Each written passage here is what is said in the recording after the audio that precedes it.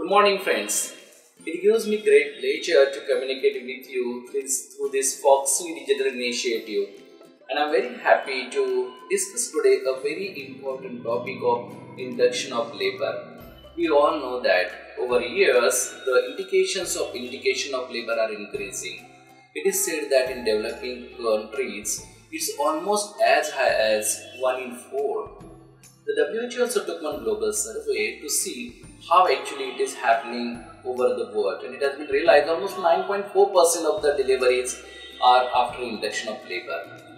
These actually the indications are increasing because there are so many new things we are thinking as indication to start the labor artificially either with the help of various drugs like prostaglandins or maybe with the help of uh, separating the membranes or rupturing the membranes.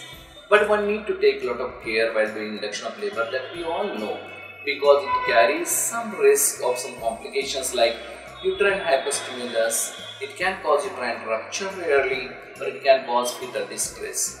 The facilities where they have a good surveillance of the fetal and maternal well-being should always go for induction of labor and also the facilities where there is facility for cesarean section. We should see that these benefits must outweigh the risk involved in the induction of labor and the persons need to be very clear when to do it and when not to do it.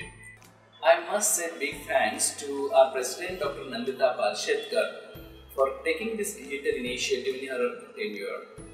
Thanks to Zydus Gynenex division as well for giving this financial support and of course DocMode for giving us this chance to interact with you, discuss with you very important topic, topic of induction of labor.